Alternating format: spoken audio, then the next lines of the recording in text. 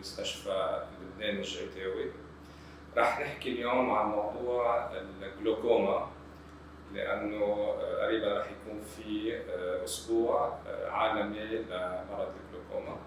بس قبل ما نحكي عن الجلوكوما ما تنسوا تتسجلوا بال YouTube channel تبع مستشفى لبنان الجعيتاوي ما تنسوا تضغطوا على الجرس لحتى تجيكم كل التنبيهات لما بيكون في فيديو جديد. الجلوكوما باللبناني بنقول له المي السوداء. بغير دول عربية في في غير ألوان بيستعملوا على هالمرض. المي السوداء أو الجلوكوما كناية عن ارتفاع بضغط العين. وهالارتفاع بضغط العين بيكون على مدى طويل. وبيسبب مع الوقت إذا ما تعالج بيسبب ضعف بالعصب تبع العين. وبيسبب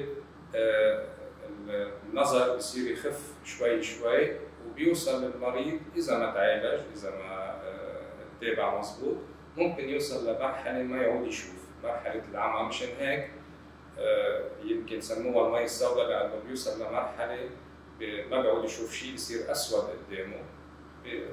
بس هيدي بتكون بالستاد النهائي يعني.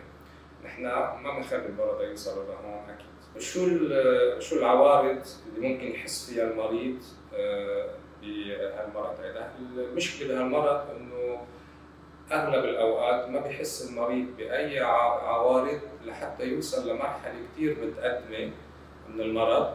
ساعتها ببلش يحس إنه نظره خف وبيجي عند الطبيب بيشوف الطبيب إنه عنده هالمرض. هذا بس ساعتها بيكون شوي يتأخر لأنه كل شيء بيصير بعصب العين. كل كل دمج بيصير بعصب العين. ما بعود فينا نحن نرجعه لورا.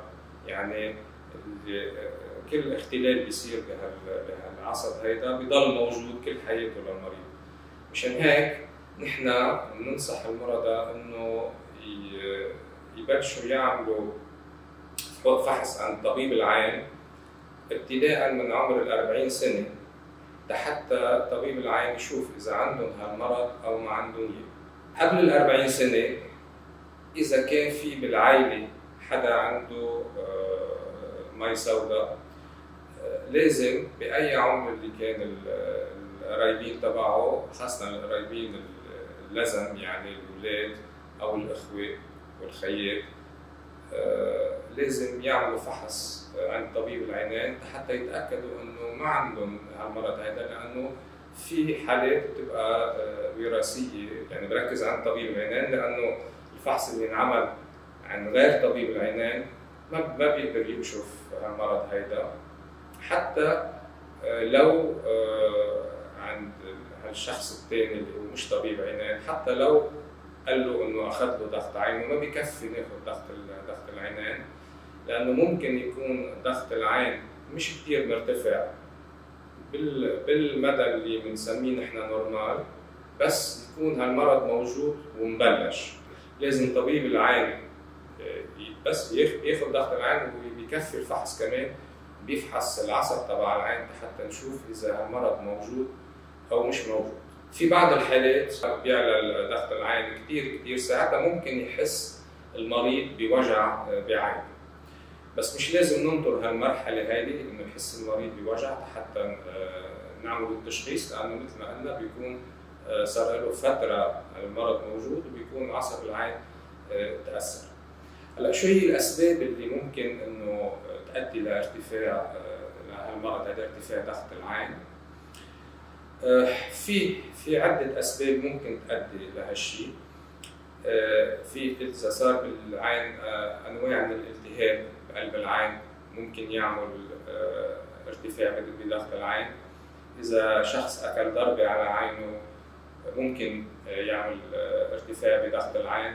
إذا صار في نزيف بالعين كمان ممكن يرتفع ضغط العين.